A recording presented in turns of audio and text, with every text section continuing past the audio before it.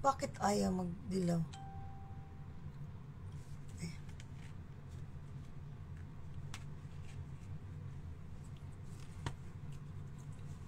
Grabe ang cleavage. Oh my God. Oh, tingnan niyo.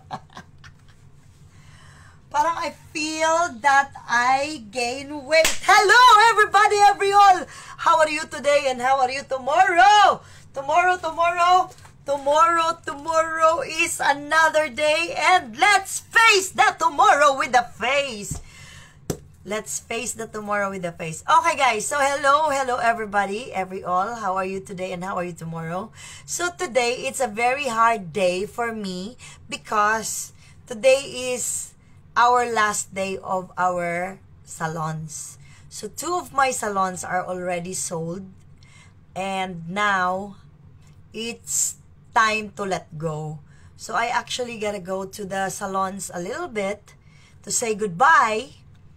And it's very very heartbreaking for me because that's like part of us for the past 12 years. We started our business in 20 uh, in 2008 and now it's it's time to say goodbye so it's a very emotional day and talking to you this way it's very um it's very hard but you know what?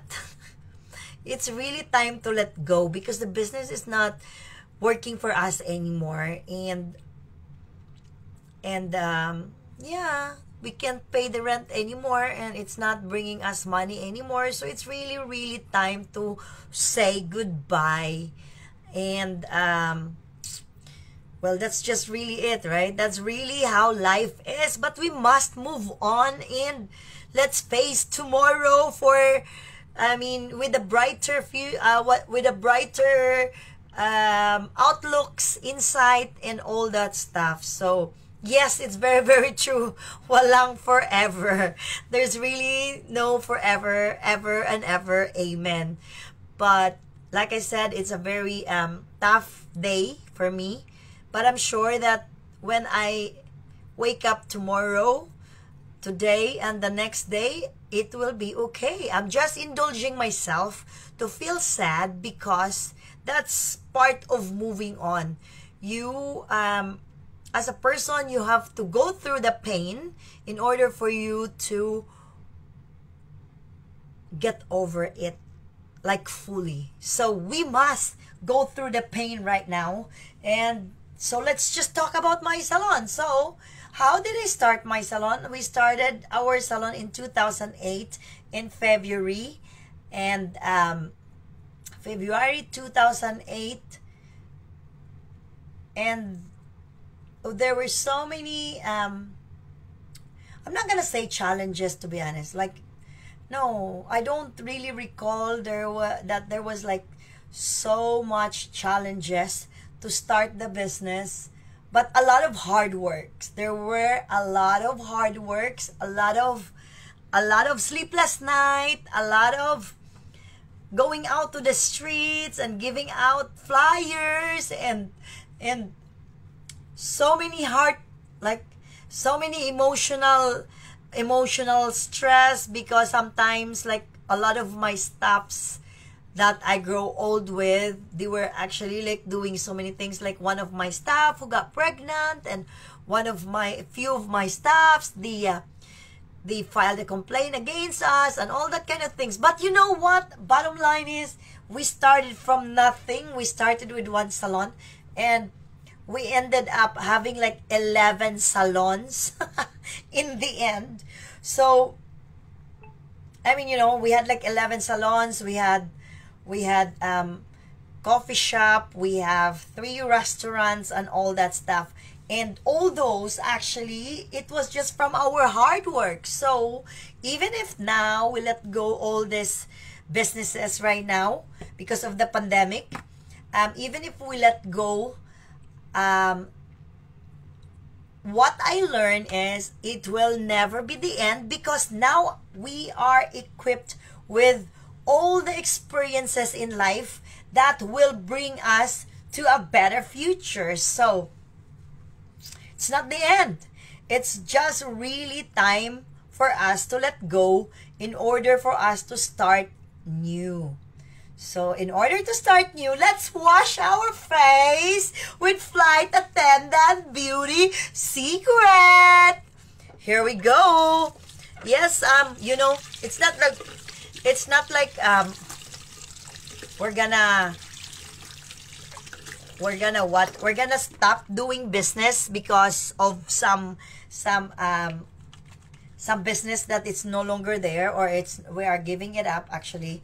So, it's it's really really it's just it's just right to talk about it and it's just right to feel sad and it's just right to really um to really like what absorb all the negative emotions because that's just how you get over things. if i will not feel the way i feel probably i am like what um heartless heartless. I already sold so many salons actually, to be honest. I sold so many salons and I've um I just didn't even go there anymore. But this time I gotta go and really say goodbye because these are these salons are like the last few. But I still have one salon for men that I also want to sell. And also I have one more salon for women that eventually wants to sell. And I will also sell my restaurant because my plan is to be ready to go home and probably go somewhere else. I don't know.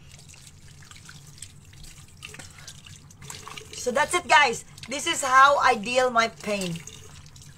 This is how we should all um we should this is this is how we should we should face we should face the the challenges in life. We all go through we all go through with challenges and um, each one of us has has its own challenges. But bottom line is how you deal with it.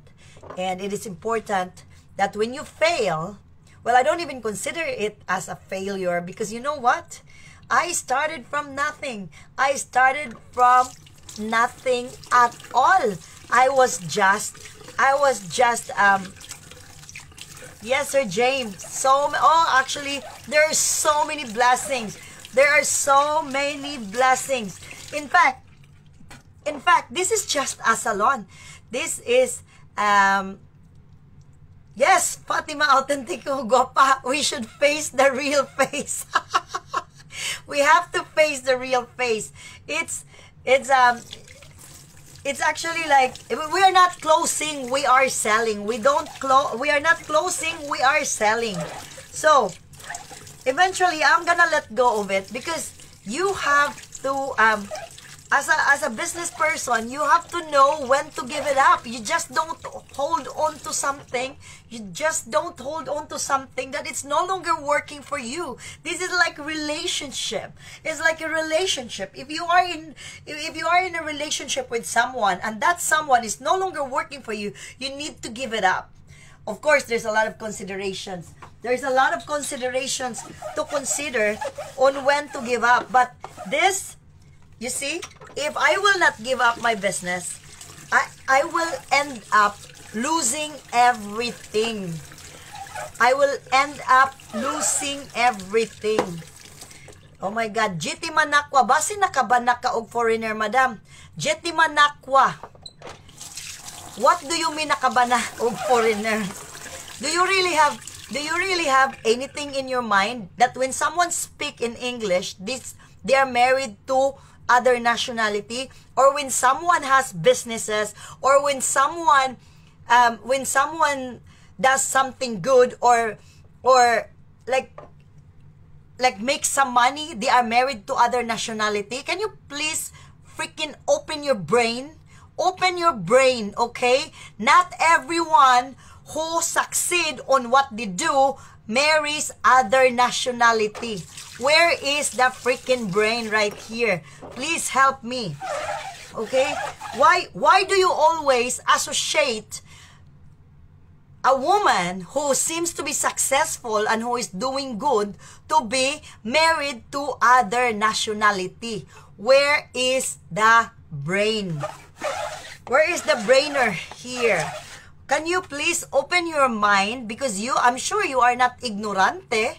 Not everyone who is doing good with what they are of who they are or whatever they're doing with their job, with their business, with with their lives, they're married to other nationality. Seriously. Seriously, open your brain. We're talking about we're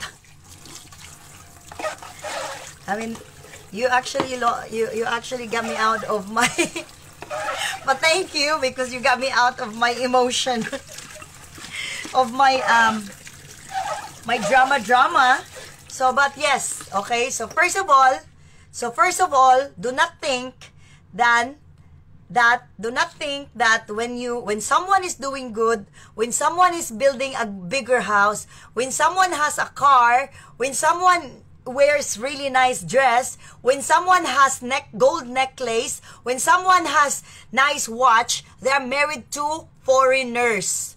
Foreigners those people who think that way they are so stuck up in the brain and they are actually very limited understanding about life.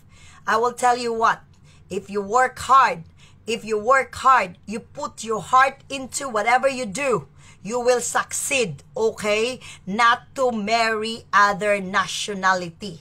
You don't need to be married to a foreigner in order for you to speak the way I speak, to act the way I act, to dress the way I dress, or whatever. So, now, think about it. Not everybody married to other nationality. Okay, so open your mind and open your brain. Do not be judgmental. Do not be judgmental because you are not a judge. Okay, so here we go. Um, what happened is, yeah, relax talaga, madam, relax. Re relax. Seryoso, yes, because I was seriously talking about my drama and then you came up with a comment, are you married to? Basi namin yung kag other nationality, madam. Basi namin yung kag other nationality, madam. Madam, for your information, for your information, some of our kababayan who's married to other nationality, they are cleaning shit. Okay? For your information. So it doesn't mean that you are doing good with your life, you're married to other nationality. Some of our kababayan, they are cleaning shit. Okay? That's what I wanted to tell you. Just to get by. Because they are married to other nationality. That's exactly how it is.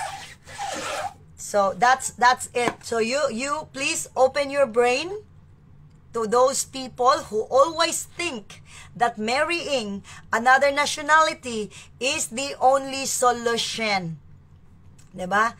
Yesterday, once more, Madam Marta, na nationality, giminyo ni Madam Wakwak. yes, I know exactly. Exactly that. Madam Wakwak, basaha ako po sa akong order sa cup lang. Marlene, yes, Madam. Order, order na mo.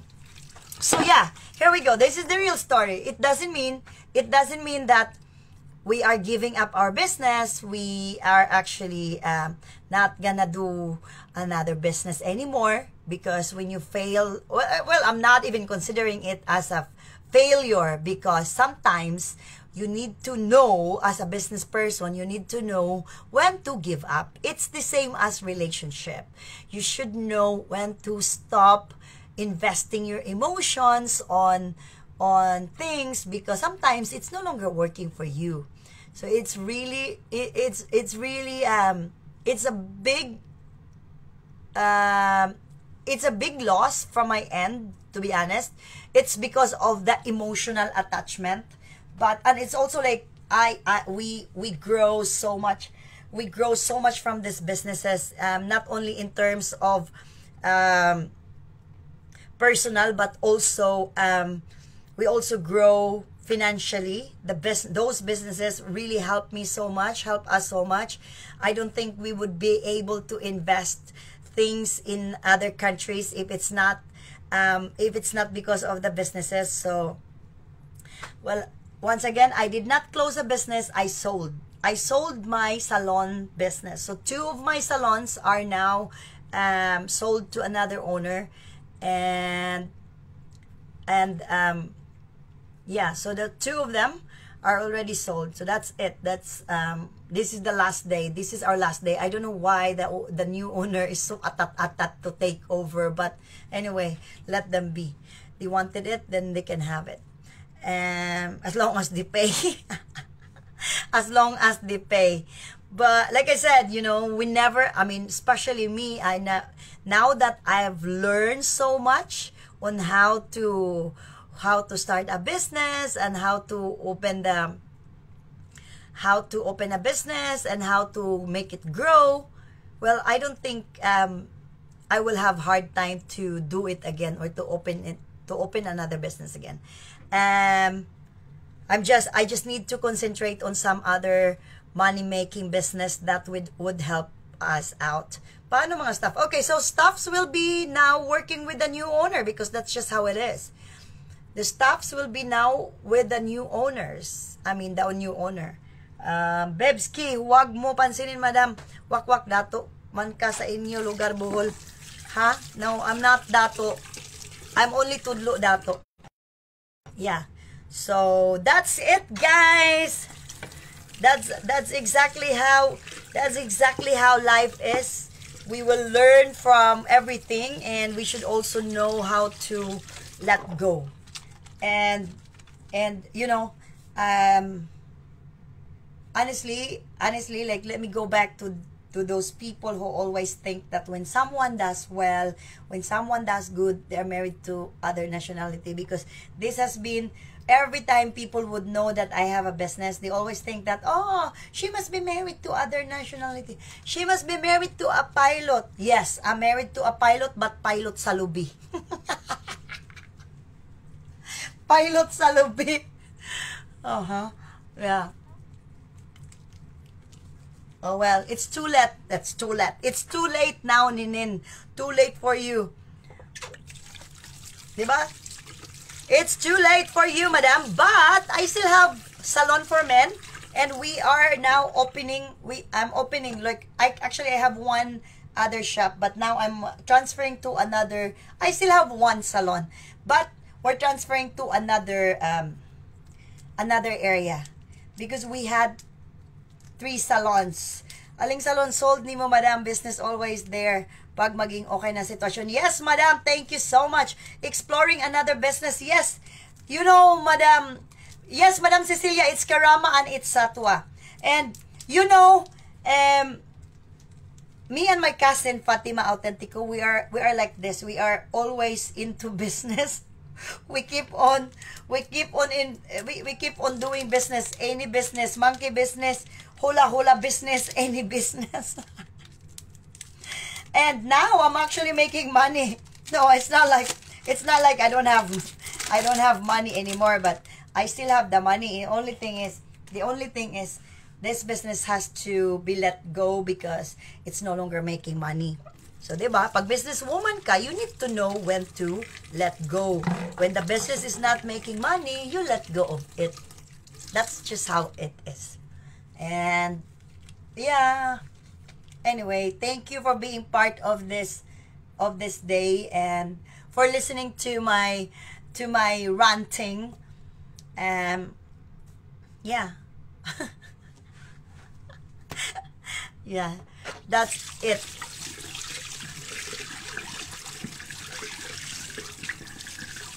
Ay.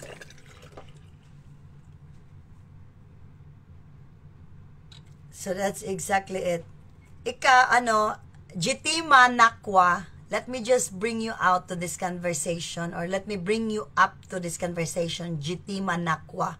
I don't know who you are and I don't know what you are going through and I don't know what kind of background you have in your life, but I think you have issue with um, with Filipinos na Filipinos would never, you can never associate Filipinos as um, successful without getting involved to other nationalities. And you always want to know personal life of people na, especially especially jud mga atong mga kababayan na mga kababayan na always think they always think na when you marry other nationality they always think na it will bring you a better future.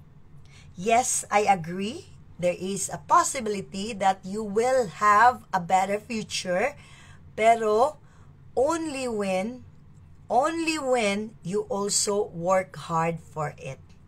Yes, only when Madam Maria Maria pangitae ko na si nakwa og apam madam.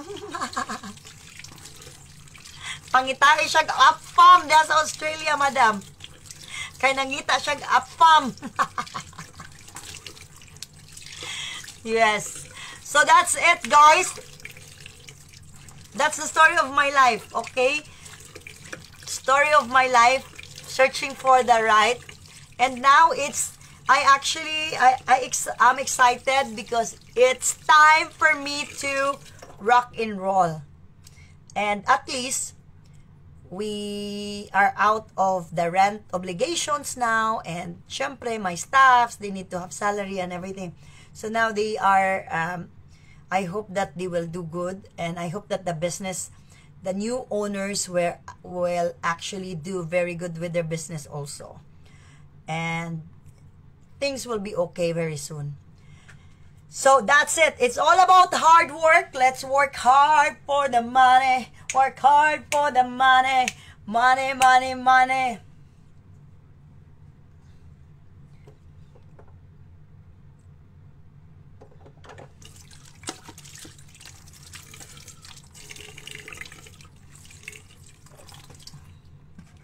Yes, madam, the real business person ko no because we do business because we want money. That's the right attitude for a real. We go to the other business that would really yes, that's it. That's how it is. Maria Maria, give a pam, madam. madam Maria Maria, tagay ko nag-apam na akong kasin. Tagay na siya apam. Oh my god, this is like how many times now I wash my face. Just so good. It feels good. Actually, ang mga, ang akong mga,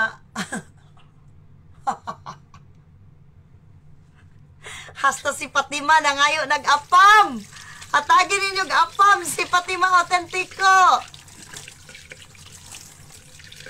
Muna akong cousin. Yes, and by the way, FYI, nag-close me Um, no, wala mi nag-close, gibaligya namo ang among salon. So we actually still make money. And this money, we're gonna use it for another business. Diba? That's how it is. It's just about the emotional attachment when you look at it. That's why, that's why it's just, it's okay to just feel sad because of the attachment. Diba? Ayaw ko diyan sa Australia, mala, maraming inmate.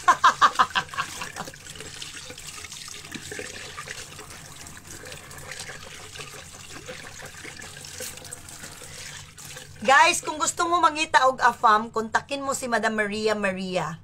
Si Madam Maria Maria, marami ang kontak na afams. Grabe yung kontak niya na afam. afam-afam na siya. Dami kayo ng afam-afam. Yeah. Yes. Ganon talaga. Ganon talaga. so, ayan ha. Um, if you're interested to buy sa ato ang Flight Attendant Beauty Secret, here we go. Here we go sa go.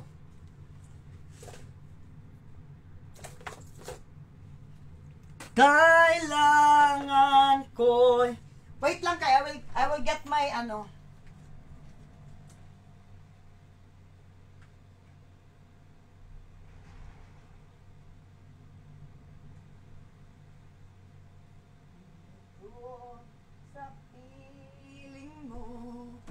Kailangan mo. So this is my, where is my ano? So ito po guys, sino yung may mga milasma dyan? Ito po yung ating secret cream. Ito yung magpapabalat ng iyong skin. Ano afam? Ano daw afam? Lydia Mira, try another business, madam. Lydia Mira. Madam, do you know my businesses, madam? I have a lot of business. Monkey business, hula-hula business, hula-hula hope business. Kahit ano na lang. Ayan na, kontakin mo daw si Madam Maria Maria. Siya po talaga ang may apam. Ano daw yung apam? Lowell at yung son, hello madam, mag-order na kayo. O sige, pamain lang po. Sino pong gusto mag-mine dito? Sino pong gusto mag-mine sa ating sabon? Ayan, pamain na lang po, guys. Pamain. Pamain, mine, mine. Abi na ko, how much ang apam? o, ayan. Ito yung kung gusto nyo magbalat ang inyong skin, you need to use the secret cream. And, promise, mga 2 to 3 days lang, okay na talaga. How much po ang set? Hi, Madam! Feli Alfla, nag-start ka ba og business diri sa US? Madam, mag-start ka ba og business diri sa US? Um, actually, Madam, I have a business in the US, yung aking rental, house rental. Pero, I'm not sure if I will move to the US uh, I'm not sure now. I have to really focus and ask guidance from the Lord kung unsa iya ang gustong buhaton after here. And like, you know, considering we have a new resort that it's uh, developing sa Bohol and actually duha ang ako ang resort na didto and So, we'll see. We'll see where God's gonna take us. So, pamain lang po ng sabon, 35 dirhams. Limited po tayo. And pamain po ng ating secret cream. Kung gusto nyo po magbalat ng inyo, ang inyong mga skin, ito po yung ating secret cream. And wait, pamain lang. Asan ba yung aking ano? Collagen! Collagen! Collagen, collagen, where are you? Here I am. Here I am. How do you do? So, ito po yung ating bagong set. Dito lang to sa US. Yung, ito, hindi po to sa Pilipinas, okay? So, pang ano po to? Pang, um, pang US po to at yung mga shipping lang to na dito to sa Dubai. Ito. Ganito siya, malaki po talaga siya, kaya po siya mas mahal. So yung mga nagsasabi bakit mahal dito sa Dubai at bakit mahal, mas mura sa Pinas. Kasi po, Malaki po ito. Ayan. Set of 4 po tayo. Set of 4. Pamain lang. Kung nasa Pilipinas kayo, kontakin nyo si Fatima Autentico, si Jennifer Jade Guevara, si Nida Sanki, si uh, Ella sa Cebu. Marami tayong mga seller, kaya mag-ask lang kayo. Ito po yung ating nag-buy na ko kay Ma'am. Eh, oh, yan, si Madam Veno Santillan. Ayan, pamain lang po. Ito po yung ating Eto. Ano? Pwede po itong i-ship. Rich Roads, ayan. Sa Pilipinas, mag-PM lang kayo. Ito po yung ating set of 5 na 185 dirhams or 55 US dollars. Ito po, 55 US dollars po ito. Na may mga afam. Yaho, pagwapa na mo, kaya na may mga afam. Yes, madam. So, ito po yung ating collagen cream. Ilalagay ko na po sa aking mukha sa aking face lock. I'm gonna put it here in my face. Kung saan ako pag-contact, PM lang madam, PM. PM ka lang, meron din tayong seller sa Davao. Asa ko nagpalit og cream sa Davao, diri sa Davao. Na, meron tayong seller sa Davao, si Tommy Francisco, ang ating seller dyan. Tommy Francisco po, ang kanyang FB. Otherwise, mag, mag ano po kayo. De Cuisine, Shiflor. Saan ka, Madam De Cuisine? Where are you, Madame de Cuisine? Beauty Chiffleur Eclabouche.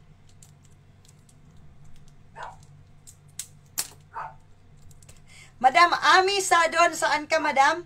Okay, pa-PM lang, Madam. So, ito po yung ating collagen cream. Ilalagay ko lang po yung aking collagen cream. Kasi po, sa umaga, ang ilalagay mo lang is collagen cream. Okay? At yung sa gabi, secret cream. Pag nagbalat ka na, pwede mo nang ilagay ang collagen cream at yung secret cream. So, ayan, naghahanapan na sila ng mga afam. So, ang mga afam, afames dyan. So, ito na po, guys. Isalin nyo rin yung inyong mga neck labush. Ang nakagandahan nito kasi, ayan, may pagka-powdery siya, ang ating collagen. Mura mo mga nagtrabaho sa kuan ate. Diyan pa PM lang. Yes, fresh na fresh. Fresh from the cart. fresh from the toilet. So, ayan po guys. Ito na oh. Yes, pamain lang 185 dirhams madam sa Sharjah. Ito na po, ayan, nalagay ko na yung aking cream. Nakikita nyo naman po, yan, ayan. Collagen. Ma'am, gamit lang dayon ko og collagen. Ma'am, pwede sabon dayon gamit. Yes, yes madam, pwede kayo. And this is our sunblock with shea butter. So, syempre, we want a complete a complete result and a beautiful result. So we will also protect our face from the sun. Sun. So we have to use the sunblock. I-block natin ang sun, kaya sunblock. nasa cave daw, nasa, good luck, nasa cave daw ang apam, sabi ni Madam Maria Maria. Atay kanis Madam Maria Maria, Jude, as in. so, ito na po yung ating sunblock. Ilalagay natin dito. Ayan. Oy, ay, ay. So, ayan, guys. Ilalagay natin dito sa ang ating sunbalak with shea butteress. Yes, my wala tayo, I don't think meron tayo sa Iligan. I think meron sa Bukidnon, but otherwise contact Nida. Yung mga gusto mag-reseller, Nida, Madam, or Fatima. Fatima, authentic ko. Ayaw, sige pangitag, afam. Sagutin mo si Ma'am Luella Chongson. Fatima! Gwapa, ayo sige pangitag lucky dia gwapa. so ayan na po guys. Ito lang po yung napaka-simple-simple lang po ang gagawin nyo. Imbis na maglalagay kayo ng pulbos, hindi na kayo maglalagay. Ito na ang iyong ilalagay. Fatima Autentico! Cebu si Ella. Ella, may number po si Ella. Mag-PM lang kayo para maibigay ko yung uh, kanyang uh, informasyon para maibigay natin ang kanyang information. Madam, sa Japan, meron kayo beauty secret. Wala tayo sa Japan, madam. Isi-ship lang natin, madam. Shipping, shipping tayo. 90 years old. Okay na ng 90 years old. Matandang mayaman. Ayan, ang dami-dami na nagtatanong, Fatima, ayaw sige pangitag, lucky diha. Sige, pangitag, laki. Ma, maimbor na lang negosyo. So, ayan po, guys. Ilalagay nyo lang para siyang powderess ang inyong face lock. Naulahi ko sa product, madam. So, mag-PM kayo, mag-PM. Mag-PM po kayo. Ganyan lang po ang ating face la look. Ayan, guys. Nakikita nyo po ba? Oh, ayan. Walang tulog to, guys. Pero fresh na fresh. Unahan ang business. yes, so ito yung ating, ang sa Pilipinas, meron tayong toner. Sa Pilipinas, ang set of 5 is 550 pesos. Once again, wag kayong mag-wonder, wanderer. Kasi itong dito sa Dubai, malalaki po siya. Malalaki ito. So, marami daw sila mga So, ito yung ating set of four dito sa UAE or sa America or sa Australia or sa Europe. Ayan, Madam Maria Maria. Daghan na kay nangita ni mong afam. Madam, ask ko yung number ni Ella. Okay, wait lang kasi wala dito yung ano. Ate, what are you doing? Oh. Sus, naakaybaw ka nag-live ko? I know. Mm. You're not making using your brain? So, ayan guys, ito yung set of 4. Mag-PM po kayo, mag-PM. Pwede ko mag-reseller. Madam, pwesto ko sa Bulacan. Pwede, madam.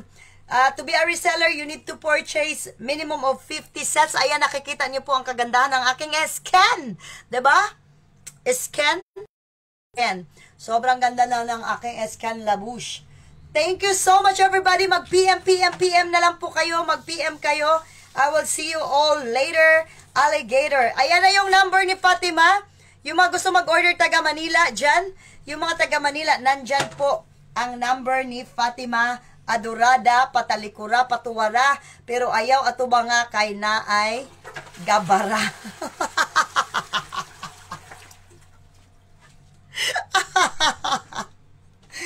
Arlita Magodayaw, nandyan po yung number ni Fatima Autentico.